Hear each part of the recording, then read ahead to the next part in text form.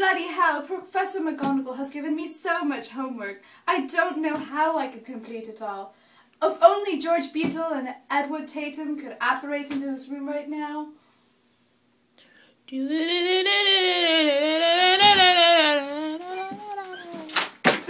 hell, who are you? My name is George Beadle and I'm here to help you with your homework.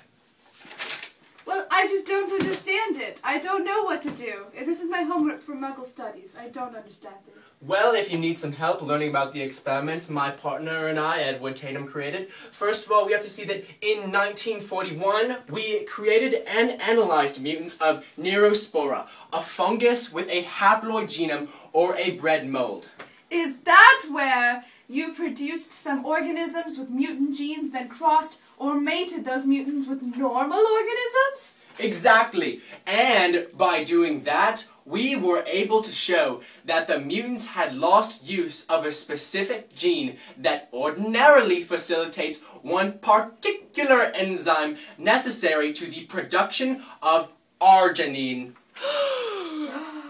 And the point was to show how genes direct the synthesis of enzymes that control metabolic processes.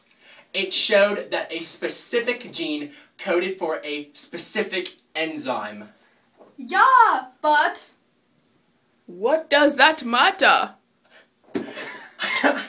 Uh, I'm really glad you asked that question because that experiment we conducted was a keystone advancement in the field of molecular biology.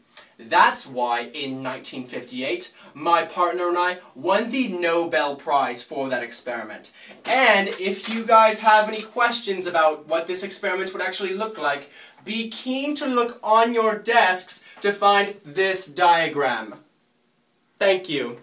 Bloody hell, that's helped a lot. Thank you, George Beadle. Thank you.